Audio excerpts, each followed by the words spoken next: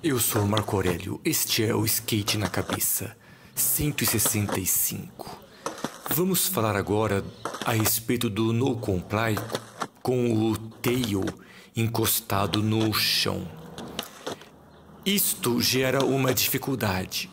Nos episódios anteriores, foi usado um longboard sem tail e nós vimos naquela ocasião que o no comply fica mais fácil porque você já parte de, com as rodas de trás no chão. Então você não tem um tranco aí. Já agora que nós estamos usando skates com tail, nós temos dois trancos: o tranco da roda de trás primeiro e o tranco da roda da frente depois.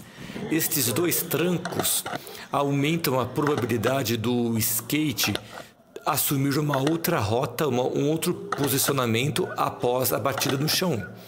Então você tem que ter um reflexo muito bom para saber onde você, você deve pisar. Porque uma pisada para fora pode fazer você torcer o pé, o pé ou cair, é, se acidentar, ou pisar na roda se for um longboard.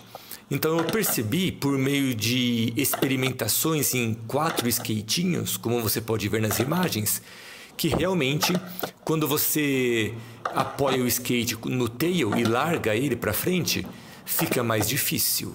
Ele ele fica desembestado, ele fica imprevisível. Esse é um ponto de dificuldade. E também eu tive uma certa dificuldade com esses skates com tail, porque dá muita preocupação, muito receio de pisar com o pé de trás cheio em cima do tail e sair em manual, sair com duas rodas apenas. E isso seria problemático. Ainda mais para mim.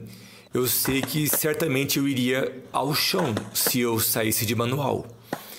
Então, é, esse receio todo faz com que eu coloque o pé de trás um pouco mais para frente, por meio de pisar no tail, e isso dificulta bastante o no comply. Mas é isso daí então, pessoal. Até mais. Tchau.